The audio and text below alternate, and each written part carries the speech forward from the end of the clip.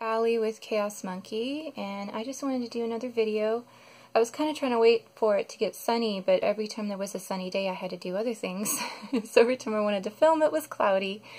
So it's cloudy today, but it's not too bad.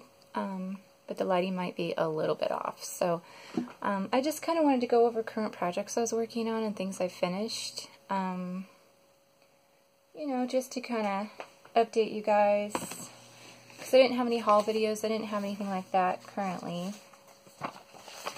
So one of my first projects that I'm currently working on that is taking way too long, and it's because of me, not because of the pattern, it's uh, for the doll Joya by Caro Created, and um, this is the first doll pattern that I'm making from her.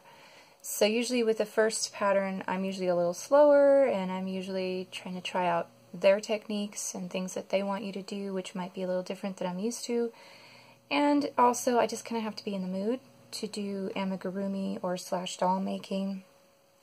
Um, technically, I think amigurumi means the really tiny animals, but we kind of um, use that phrase interchangeably now for just like any type of um, crocheted animal, crocheted doll type of thing. Um, but this one's at a worsted weight, and if you can see her, she's got a lot of clothing, she's got a lot of details. And what I've done so far, keep in mind too that the pattern is written in a DK, so her pattern is smaller, and my pattern is a worsted, so my doll's going to be bigger than hers. So what I did so far was I did the feet, and her legs up to her uh, undergarments and these actually are, you flip them down, so you can actually put her boots up if you wanted, and they look kind of like Uggs, in my opinion. And I know the lighting's bad, and we try to get this out of the way too. Especially the dark colors, but you can see that I had to do quite a bit to do the foot, stuff the foot, um, work up from the leg, and then you kind of have all this yarn kind of on holders as you're working one to the other. And then she put um, cardboard in the base of the foot so that it will stand. And as you can see, these feet stand. Um, but uh, I did plastic canvas. So I bought some little rounds of the plastic canvas at like Hobby Lobby like months ago. And I just trimmed down the plastic canvas and used two sheets of it because it was pretty thin and sewed it together. And then put it in the base so that um, if she ever has to be washed or anything like that, then the plastic canvas won't fall apart like cardboard. Um, but usually, I mean, with dolls like this, you usually just spot treat. You're not going to completely submerge anyway. But also cardboard tends to bend over time and get um, floppy, so I just, I prefer the plastic canvas. So that is her legs and feet. Here's her body. And it looks kind of like a bowling pin. This is her neck. And then here's her head. Yeah, I still have strings attached, so. And the head will actually go into the, which I like this design because uh, once I move some of the stuffing out of the way and get this in there, that's going to be really supporty once it's all sewed in place because of that extra neck piece. So I like that a lot because that's usually one of the problems with dolls and animals is they get floppy over time and the heads flop or the heavy parts flop. So, but anyways, you can see the legs go like this to the body, and they're going to be um, kind of like with a thread run through, so that she's got bendiness and mobility, kind of like how I did my bear. Um, if you see that video um, where I attached it with just a yarn going back and forth, I think in her pattern she wants dental floss or things like that, so I'll try that out. I'm afraid the body might be too small compared to the legs, even though everything's the same gauge. So as I put her together, I'll see what's going on. I might have to adjust. I might have to rip the legs back um, to make them shorter. Who knows? But um, now I'm kind of moving on to the arms. I'm going to see how the arms look. Because if you look at her, she's pretty much all feet, legs, and arms. And then, uh, so the body might just be fine the way it is. But I'm just doing all this in I Love This Yarn from Hobby Lobby. Um, there you go. So light peach, and these don't have labels, so I think this one is denim. and then I have no idea what this tan is. And the white is like an off-white. Um, I think might be ivory. Not sure. So, yeah, so I'm, I'm kind of, I don't know, I'd say what, 50% maybe? But she's got a lot of clothes. So the nice thing about this one is you can use scraps for the clothing and use like nicer yarn scraps. So I have some leftover alpaca and stuff that I might do her little cowl with because she's got a dress, a sweater with a hoodie, a cowl, leg um, like leg warmer things, and a hat with pom-poms. So use up a lot of your scraps for that. So I kind of work on it in bursts and then put it away for like weeks.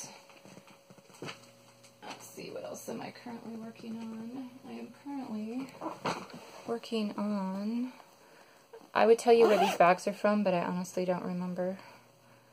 If I do remember where I got the bag, I'll let you know. But this is just kind of like my Halloween bags. Let's see, that one has that print on it. But, um, this was actually in hibernation, so I guess technically I haven't started working on it again, but this was from a Craftsy class um, with some color work hat, but since it was in hibernation since last year, I pulled it out.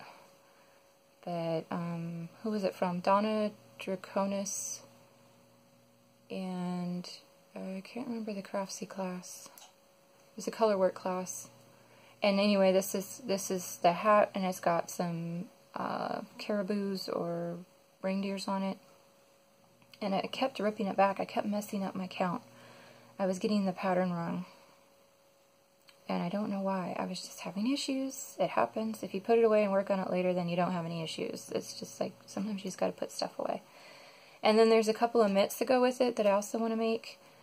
Um, the mittens have the caribou on them too, but they both face the same direction. They both go like to the right, so I'm going to have to flip one because I want my mitts to be mirrored, but I'll figure that out later. But So I probably shouldn't even show you this one. I'm not even working on it technically, but I guess I'm planning on working on that one. So if we do future projects, then I'll go ahead and show the other one I'm planning on starting, which is the Dania cardigan by Amber Allison. I've had this pattern forever, and I have Cascade 220 in stash, and I wanted to do the body in like this really dark gray. It's actually black, like a heathered black. And then I have gray left over from another sweater I just did. And then those two balls from Hobium, um, I wanted to do in a hat. Two of the balls I had like red, gray, and blue. I'm going to use the red and the gray in the sweater instead because you only need a small amount for these pieces. So my colors are going to be different, but um, that's kind of where I'm thinking right now because I'm in a sweater mood. And I just finished a sweater and I'll show it to you guys. And let me put this away.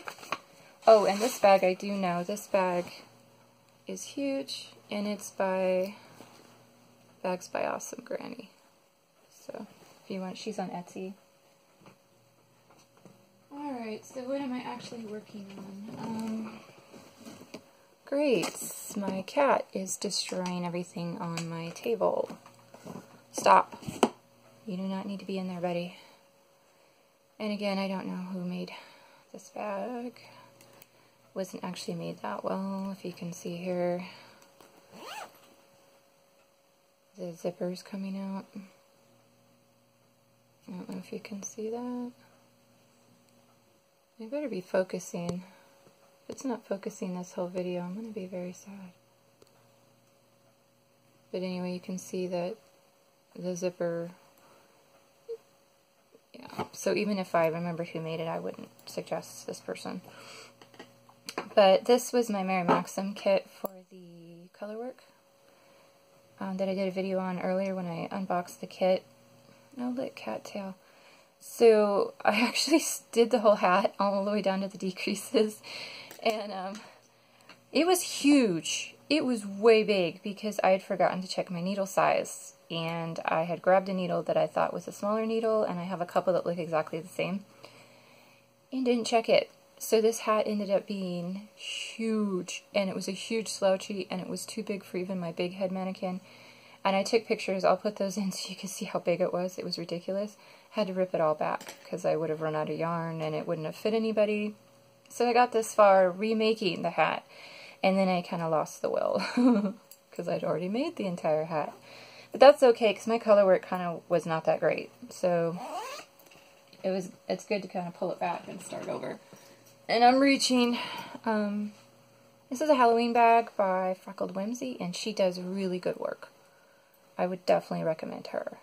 So if you guys go, she's also, at least she used to have an Etsy shop. Remember all my bags I bought years ago when I had money, um, when I was still working, and I don't know if, if that's still gonna, if she's still around. Some of these people may not even be around anymore.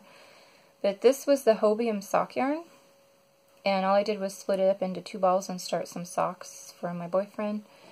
And you can see it's like a Fair Isle and I think these stripes aren't supposed to be quite this wide, but I don't use a lot of stitches in my socks. I only do 60 around because we like a lot of negative ease.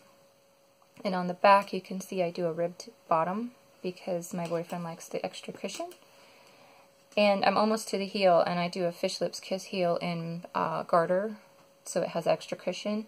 And I'll show you guys when I finish them. But um, I did increase four stitches towards the ankle but you can see um, it's kind of a weird consistency since I haven't used it before. I wanted it to have negative ease, but I didn't want it to overstretch. And it was a weird, weird balance, so I'll see how they turn out when they're actually on his feet. Um, but working on those, and the kitten needs to let go of my yarn. Thank you. What else am I working on? Excuse the reaching. Um, oh, I showed you guys this one already. I'm supposed to be throwing them on the floor so I can keep track.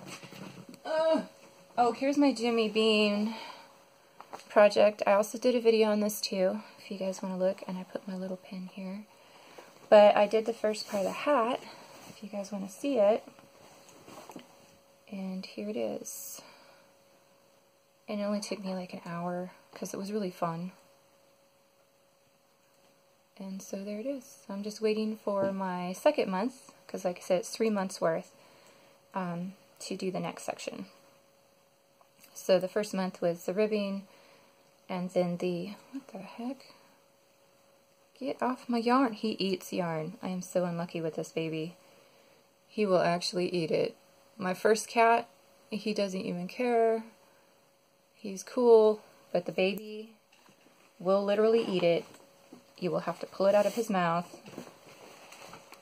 Uh, okay, so for finished objects, I think I can still film. I did clear off a little memory, but it might cut me off. Is I finished this sweater.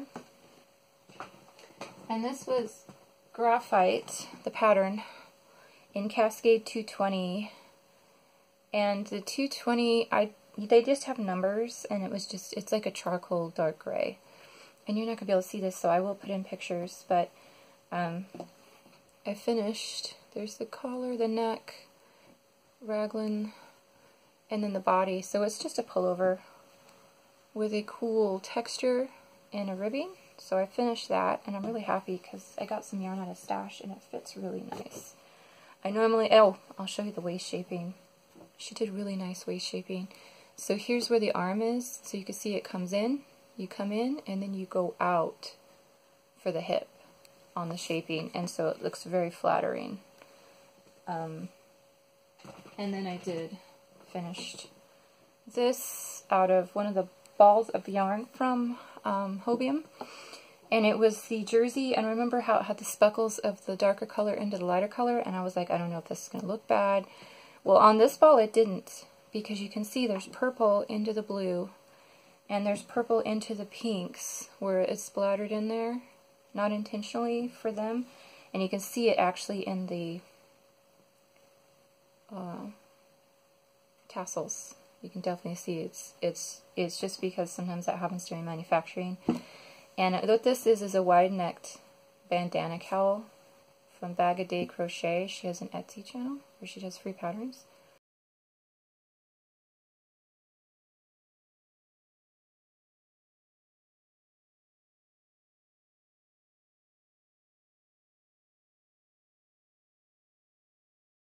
It kind of bothers me on the fringe just a tiny bit, like here, because it really sticks out. I kind of did the fringe just random um, with the colors, but overall I still think it looks good. And I didn't pick, you know, I didn't, uh, I just worked the ball. I didn't cut it or anything, and I just happened to end up with a pink on the edge here, and I really like that. So that was another finish. Um, I don't think I have any other finishes. Sometimes I finish stuff and forget, but I don't think so. But then I wanted to show you guys, um, I got the Mary Maxim jewelry kit. I'm not doing a separate video on this because it's kind of not worth it. but I ordered it for the month of October. And I think they ran out of the one because it wasn't what they had pictured. And it's usually kind of the current month they have pictured. I think they ran out because this is what I got. Um, I don't think this is what everybody else got. So I think they just kind of had to do whatever they had to do because they ran out. So I wasn't really impressed.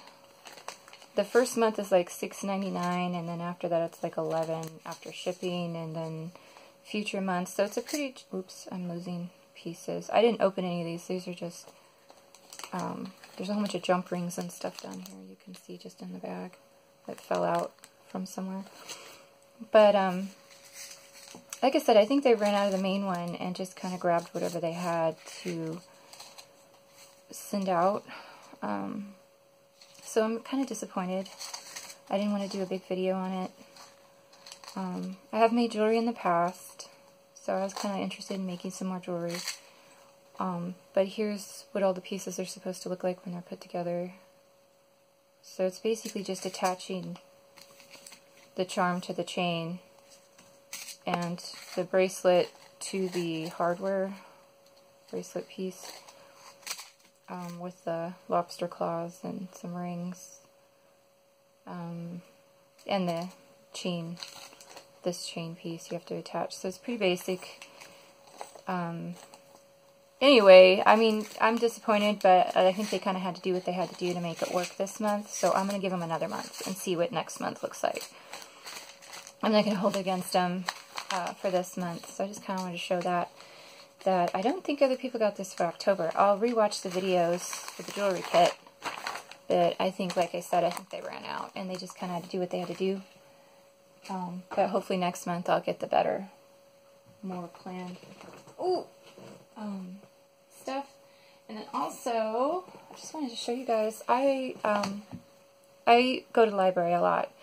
And I got this book from the library, Edward's Crochet Imaginarium, and I thought it was adorable. And basically it's about making monsters, but I love this flippy part. You can flip this and pick the body parts. So I thought that was just so cute. I just wanted to share it real quick. So you can pick your head, pick your arms, and then pick your feet. So you just kind of flip through, pick what you want, and then the directions are on this side, which I don't want to show, um, to make the animal. And she has, um, I believe it's written by a woman. It's called Edwards, but it's written by Kerry Lord, but Kerry could be a boy name too. So, but, um, then she goes into, or he, she or he goes into construction, all in the back color picking, um, materials you need, sizing, and that's basically it's just saying um, if you're going to make an animal, you're going to make an amigurumi, the more the larger yarn you use, the larger the animal. You don't have to modify the pattern. So here's just showing um, the smallest, thinnest yarns up to the biggest, bulky yarns. So just for a heads up if you didn't know that. And then there's a whole section on tails, if you want to add some tails. So I just thought that was really cute. And I like to do all my knitting books from the library first, um, because then I can know if I really like it. Because I've bought books before where I really thought I'd like them, and they only like one pattern, and it's a complete waste of money. So I get them from the library first, and then I'll buy them later if I really, really want them. And then she has some pre he or she has some pre-put together monsters if you want to mimic that one. And I just thought it was really cute. I won't go on too, too long, but um, I really like this guy. I'm going to make this guy. Because my lighting, like I said, my lighting is really crap today. Um, and then the stitches, I mean, it's a really nice book. It's well put together. It's got picture, it's got really nice pictures. It's got everything you could need to put the animal together.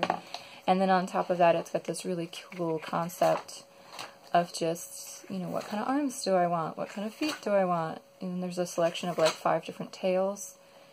Um, so if you guys have never heard of this book, it's really awesome. And if you're interested in making little monsters, I don't know if I'll make anything out of it.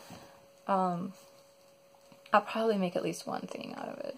But again, it's a library book, so I only have so much time before I have to return it. Um, and then the other book I got was um, Crochet Style for Baby and Kids. And I've noticed a lot of these books are using the same kind of style and the way they lay them out. Um, it's really nice photography. So if you want some more stylish, trendy, more modern baby items, um, this one's got those in there. Again, I don't know if I'll make anything out of this one, but just to give you a heads up, it's a really nice book.